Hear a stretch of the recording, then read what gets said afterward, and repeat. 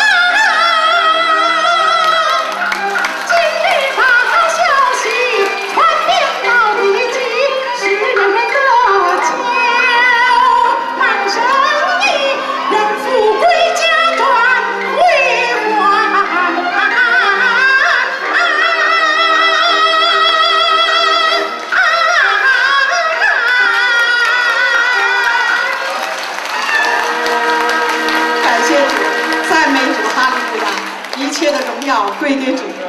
我看大家还是很喜欢啊，你们感谢主，这是神。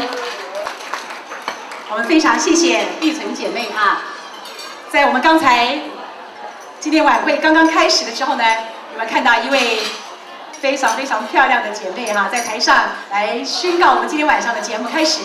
这位姐妹呢是王琼姐妹哈，她呢不是我们宣圣会的，可是呢却在神感动他的这个呃前几个月，他觉得光在教会里面敬拜赞美不够哈，他觉得应该要走出来来传福音。可是呢，因为每一个教会有不同的这个安排，所以呢，他发觉他有这样的负担，愿意来参与我们的福音行动，他就打了电话给我。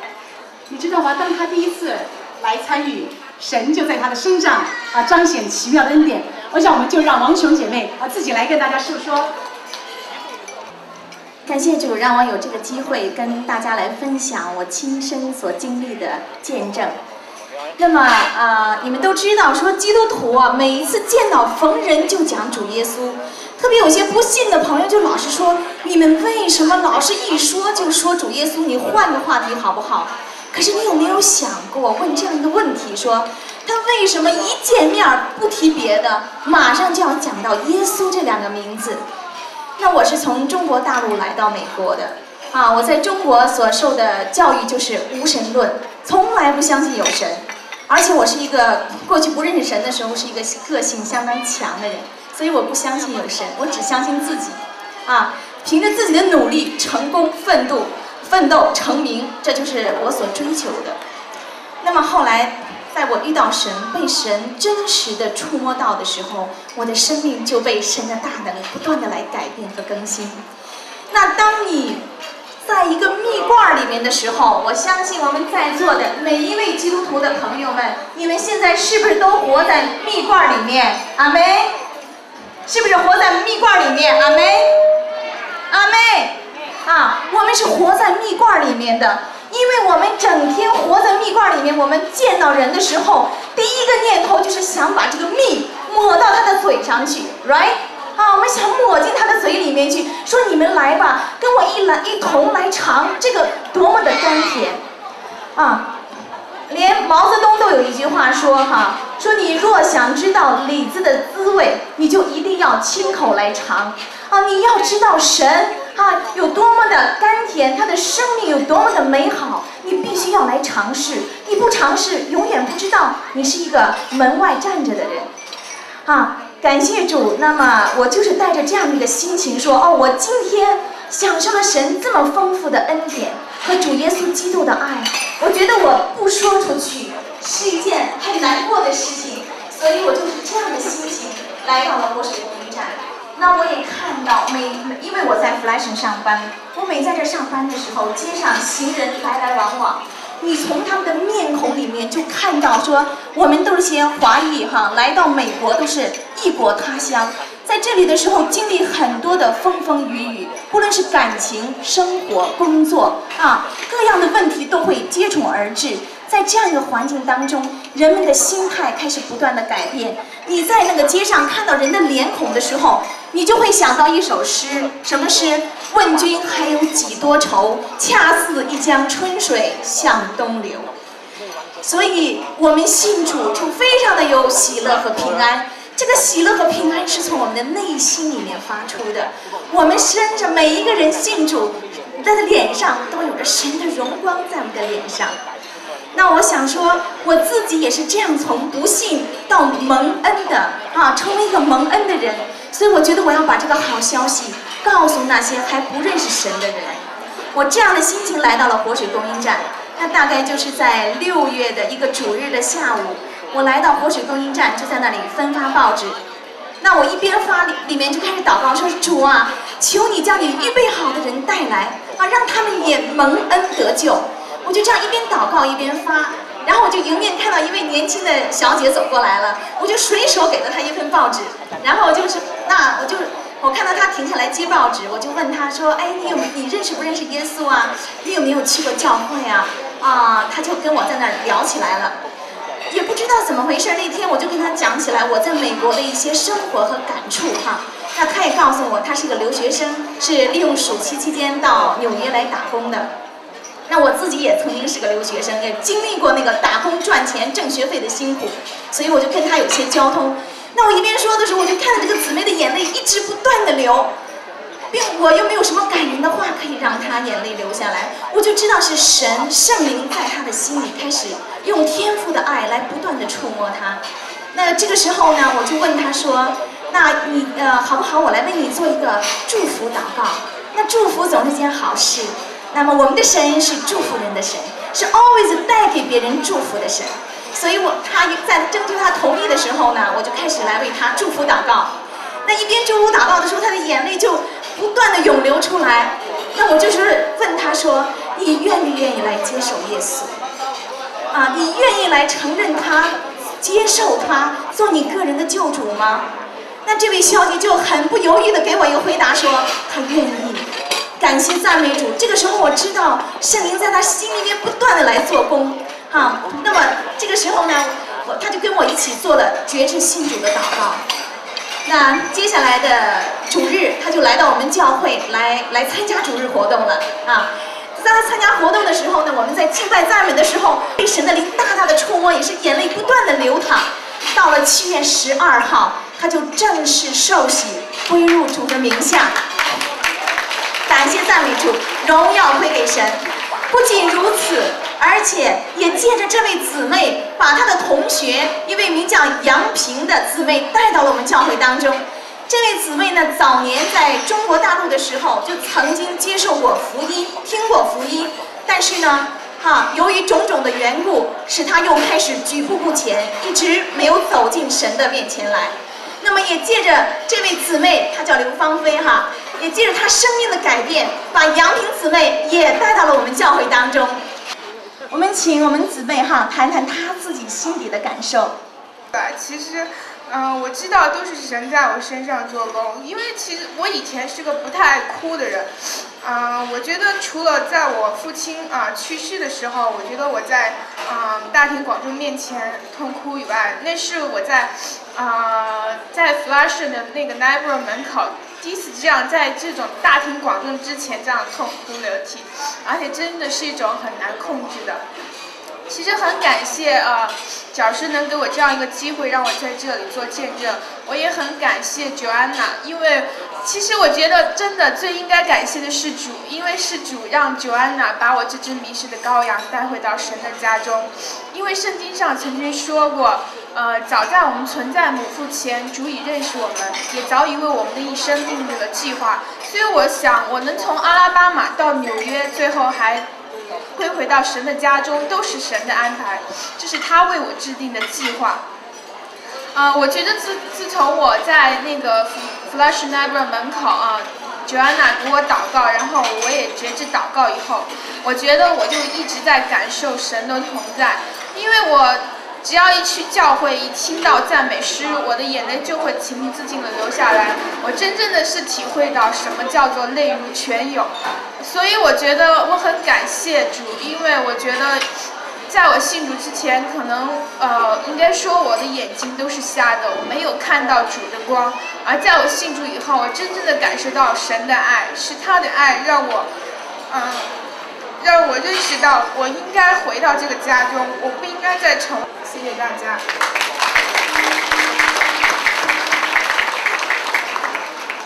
啊，弟兄姐妹平安。其实我今天就是一点准备都没有。我今天来的时候，嗯，然后这个我同学李一才跟我说，我也要上台来说几句。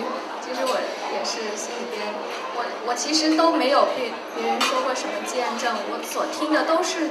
然后我我觉得很 amazing，因为我在学校里面都我们经常有，我知道他他就是一个无神论者，这样子觉得非常的 amazing。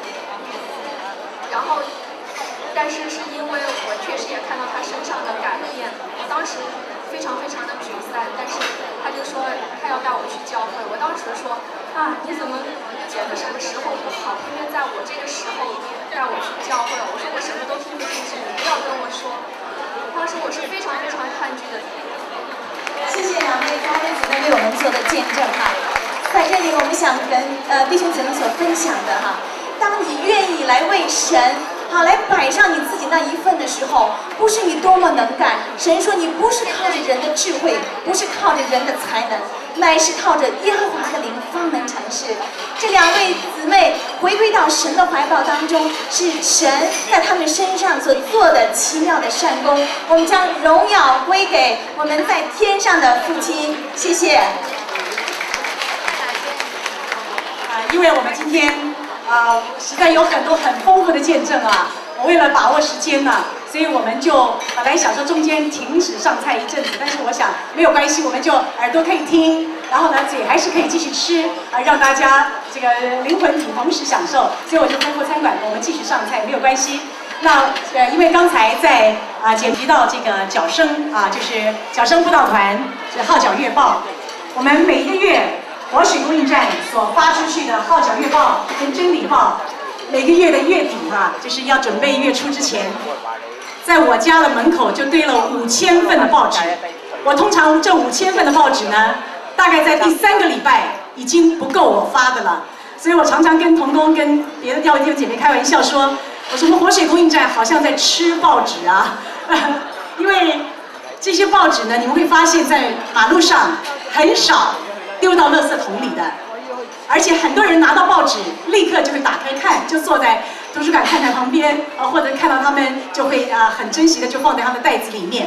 那活水供应站是三年前有小小的宣圣会，当时的宣圣会是在我家，我家是一个普普通的房子，一楼打通做教会，所以呢，在你们手上啊，有一些朋友们已经拿到了我们活水供应站三周年的感恩见证集里面，就会提到。这宣生会呢，啊，在何牧师家里，啊，所以情况怎么样？我们可以了解到，这是一个很可爱的小小的大家庭。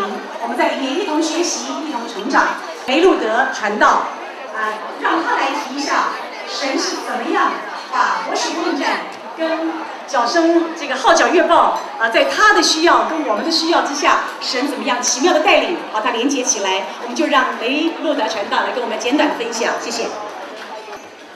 在这里要谢谢何牧师和师母、各位牧长，还有活水供应站的同工们、弟兄姊妹，你们平安。嗯，在这里我是代表《角声号角月报》的同工，特别呃要谢谢大家一直来的支持，特别就是要谢谢活水供应站在这两年多来跟号角月报的合作，那相信大家也听了很多的见证，非常感人。啊，今天是活水供应站三周年的成立，是一个很大喜的日子。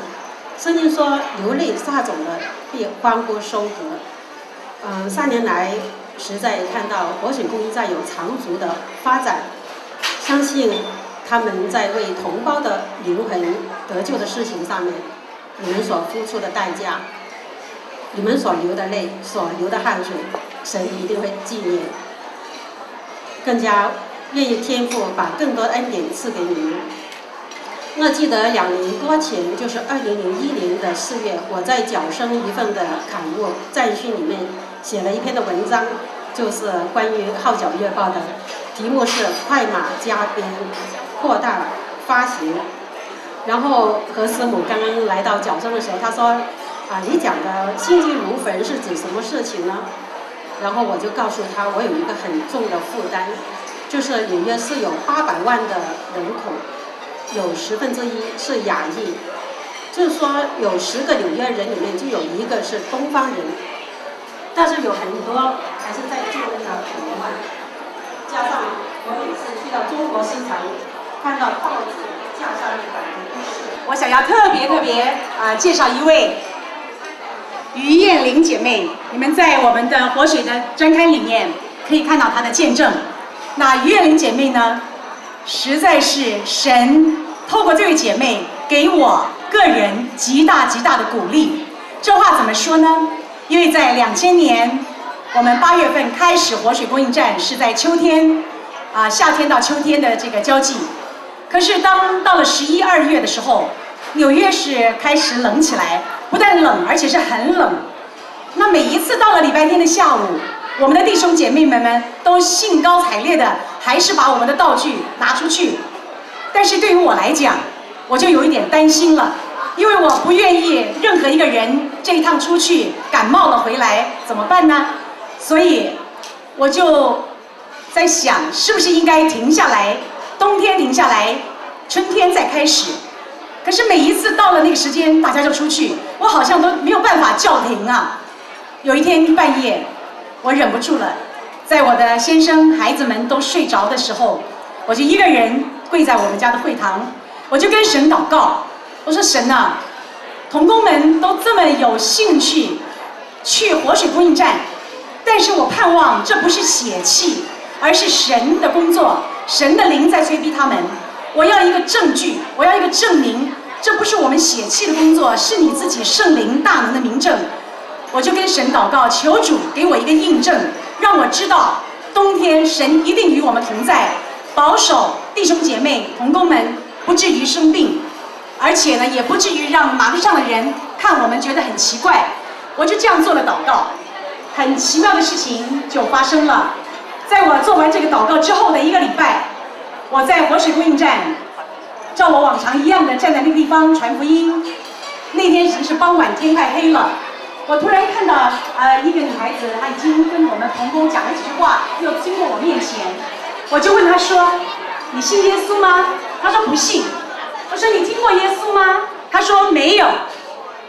那我说你有没有几分钟，我可以跟你谈谈呢？她说没有没有，我有我要赶时间，我要去驾驶学校。结果他就走了，他就已经，呃，一个转头就走了。照我平常的经历呢，走就走，我不会抓住他。如果我给他报纸，他不拿，我也不会硬塞给他，就让他走，因为不强迫的。可是那天我也不知道怎么搞的，他已经背向着我了，我竟然在他的背后突然冒出一句话，我说：“我可以为你祷告哦，我可以为你祝福哦。”哎，我是以这样的一个口气来在他的背后突然冒出一句话，没有想到这位小姐呢就站住了脚步，回头看了我一下，然后她就说。行，这样吧，你为我这里祷告祷告啊！我想呢，然后呢，我也没有期望什么神机奇事发生，我只希望他能够尝到一点神的那个平安而已。我只是手搭着他的肩膀，为他做了一个祝福，就走了。我想接下来呢，就让叶玲姐妹讲一讲她下面的故事，好不好？哎，大家好。我在三年前呢认识何师母了，就像刚才何师母讲的这个经过。我不相信，我和大多数从大陆来的人都一样，没有听过耶稣，也没有进过教堂。可是呢，奇迹就在我身上发生了。那天呢，我是急着去学车，我就有两分钟的时间。何师母呢，很诚恳地跟我讲，说我就为你做个祷告，给你祝福。我说那太好了，我后背痛了十痛了十多年了，我是一个外伤，然后造个胸椎、腰椎，连着七个骨节都增生的。那么我在大陆是骨科医生，我自己各种理疗、各种药我都吃过也做过，但都没有解决我的问题。那么我在头一天呢，自己还在做那个理疗，用哈茨五行针在拔罐儿。那么第二当天呢，何师母为我做了短短的一两分钟的祷告，那么奇迹就发生了。晚上回去以后，我就比头一天呢疼痛减轻了一半，我现在的确不痛了。感谢主，感谢何赶回法拉盛，我到活水宫再来谢何师母。何师母当时说：“你不要感谢我，要感谢主。”那么他这一句话让我非常感动，因为我们在路在大陆都是搞个人崇拜的。那么我到美国来接触到何师母哈，我感觉到哎呀，这个主太好了，不让我感感谢他个人，而是要感谢主。那么我从那一天，我跟我身边所有的人在介绍讲我的经历。和主对我的恩爱，那么我还是要说一句感谢主，感谢何师母，好，谢谢大家。我们一切的荣耀归给主。啊，对啊，于艳玲姐妹，她是一九八三年意外受伤。啊，她是刚刚有一段她没有提到的，就是她告诉我，她每年秋冬交际之时，她什么姿势都没有办法好好睡，可是就不动了就去睡了，等到半夜翻个身就痛，都是坐在床边哭。可是从三年前活水供应站那个晚上，一直到今天，她可以做一切的事情，而且完全像正常人一样。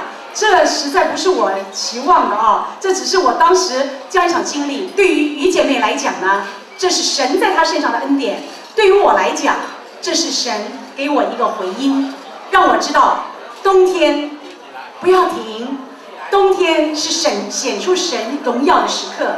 也就因为如此，每到了过了两千年、两千零一年、两千零二年，哇，多么可爱的弟兄姐妹，他们都是义务的、主动的。我从来没有对任何一位部分啊，还有一些其他教会的弟兄姐妹呢，我今天没有特别的安排。这是我们基本的宣圣会活水供应站的童工，也就是我们经常出现在巴拉圣图书馆门口，我们穿着兴起发光耶稣爱你的这个背心的团队童工。我们的教会不是很多人，可是神所给我的一般忠心的童工，他们真是忠心，真是良善，真是合一，真是可爱。他们不仅渴慕神，而且渴慕为神摆上。我想，我们接下来就以两首诗歌《宣教的中国》还有《走出去》来表明我们的心声。宣教的中国，也许有一天神要差遣我们当中的任何一位到中国大陆去宣教。但是我们放眼法拉盛社区，在我个人所接触的百分之八十中国大陆来的朋友们，所以有的时候人家猜我以为我是大陆来的，可能已经被同化了那个口音呢。你就晓得，有一天神要差遣我们去中国大陆，但是我们现在身边的人呢，虽然跟我们非亲非故，但是神爱他们，而且爱他们到底。所以神要让我们从现在开始，先没有长期的宣教，我们先有短期的宣教，就到离我们家几条巷子的街口来跟我们现在身边的同胞们来传福音。我们就以宣教的中国。